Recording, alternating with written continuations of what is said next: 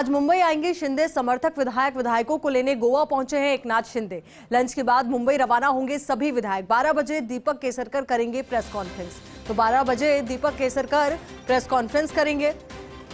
अब देखना यही महत्वपूर्ण कि प्रेस कॉन्फ्रेंस के दौरान क्या कुछ अहम बातें दीपक केसरकर की ओर से कही जाती है। तो आज मुंबई आएँगे शिंदे समर्थक विधायक। विधायकों को लेने गोवा पहुँचे हैं एकनाथ शिंदे। अब वो अपने साथ इन तमाम विधायकों को लेकर के मुंबई पहुँचेंगे और देखना यही महत्वपूर्ण कि जब एकनाथ शिंदे गोवा पहुँचेंगे तो किस तरीके का माहौल वहाँ पर रहता है? क्योंकि जब उनके नाम को लेकर घोषणा की गई कि वो सीएम बनने वाले हैं तो उस दौरान गोवा की तस्वीरें भी सामने आई थी, जो जश्न की तस्वीरें थी, खुशी के इजहार की तस्वीरें थी। तो ऐसे में जब आज एकनाथ शिंदे गोवा पहुँचे तो ऐसे में तस्वीरें और भी ज़्यादा महत्वपूर्ण हो जाती है और भी ज़्यादा खास हो जाती है। लंच के बाद मुंबई रवाना होंगे सभी विधायक, और जब ये तमाम विधायक मुंबई रवाना होंगे तो उस दौरान की तस्वीर भी बहुत ज़्यादा खास और महत्वपूर्ण, क्योंकि ये तमाम वो विधायक हैं जिनके दम पर एकनाथ शिंदे हुंकार भर रहे थे और उनके साथ के साथ ही वो सीएम की कुर्सी तक पहुँच पाए हैं। तो बगावत के तोहफे का इंतज़ार भी ये विधायक कर रहे होंगे।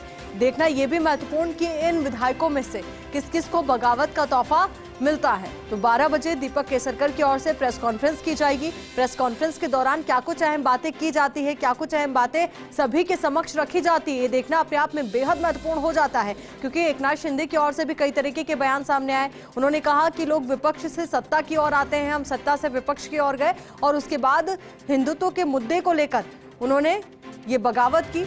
हालाँकि उनकी ओर से इस तरीके के बयान भी लगातार दिए गए। कि वो शिवसेना के लिए ही लड़ रहे हैं? शिवसेना की जो सोच है, विचारधारा है, उसी के लिए लड़ रहे हैं। बाला साहेब ठाकरे की विचारधारा पर वो चल रहे हैं। अब देखना सबसे ज़्यादा महत्वपूर्ण यही, सबसे ज़्यादा खास यही कि किस तरीके का माहौल जब एकनाथ शिंदे अपने समर्थक विधायकों के साथ मुंबई पहुँचेंगे। ये तस्वीर भी जरा देखिए, उनके काफिले की तस्वीरें हैं।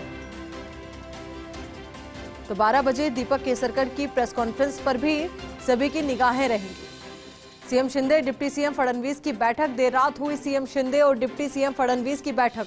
बैठक में मंत्रालयों के बंटवारे को लेकर चर्चा की गई। तो बैठक अपने आप में ये महत्वपूर्ण थी, क्योंकि देवेंद्र फडणवीस, जो डिप्टी सीएम है महाराष्ट्र के अब, और एकनाथ शिंदे, जो महाराष्ट्र के सीएम है। दोनों के बीच में बैठक, और बैठक के दौरान मुद्दा साफ़ है, तय है कि मंत्रालयों के बंटवारे को लेकर चर्चा हुई तो एक और बड़ी खबर आपको बता देते हैं। महाराष्ट्र की राजनीति से जुड़ी हुई एकनाथ शिंदे के सांसद बेटे शिवसेना छोड़ेंगे। सूत्रों के हवाले से एक खबर है, सांसद श्रीकांत शिंदे जल्द ही छोड़ सकते हैं पार्टी। तो पार्टी जल्द ही सांसद श्रीकांत शिंदे छोड़ सकते हैं। इस तरीके की जानकारी भी सामने आ रही है। सूत्रों के हवाले से यह अहम और महत्वपूर्ण जानकारी। तो अब सवाल ये भी है कि किस तरीके की राजनीति अब आने वाले दिनों में महाराष्ट्र में देखने को मिलेगी, क्योंकि तमाम समीकरण बदल चुके हैं। तमाम जो परिस्थितियाँ थी, वो बदल चुकी है।